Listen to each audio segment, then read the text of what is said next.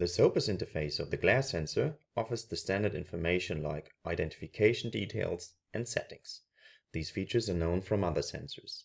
In the settings menu, you will find the possibility to adjust the sensitivity just like you do with one of the rotary switches. In this tutorial, we would like to go more into detail with the Teach In and the alignment menu. The alignment menu allows the right adjustment of the sensor. The distance between the object surface and the sensor must be 50 mm plus minus 1 mm. In the second step, the angle needs to be adjusted. The angle must be perpendicular plus minus 1 degree to the object's surface. Move a glossy object under the sensor and start the alignment. There is an error message if the object is not glossy enough or if it is out of tolerance. Now incline the sensor into all directions and see how the virtual light spot moves on the screen.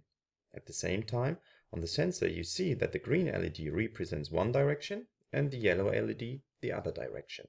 If the alignment of the sensor is correct, both LEDs are off and the light spot is positioned in the center of the screen.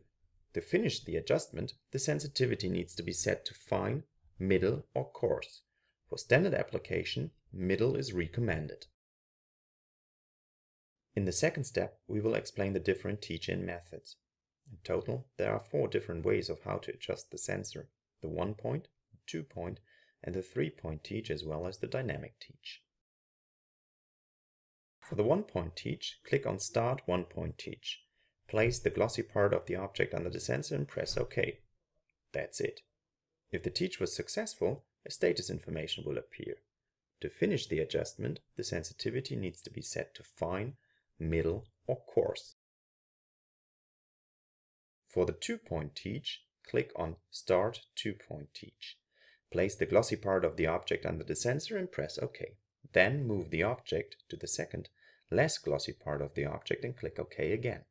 If the teach was successful, a status information will appear. To finish the adjustment, the sensitivity needs to be set to fine, middle or coarse.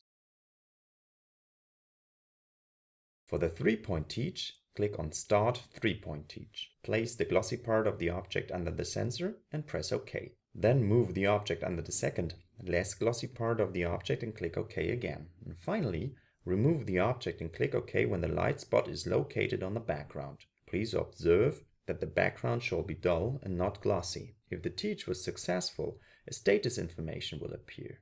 To finish the adjustment, the sensitivity needs to be set to fine, middle or coarse.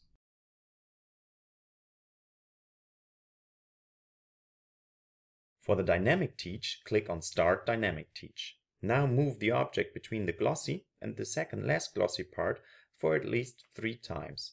Then click OK. If the teach was successful, a status information will appear.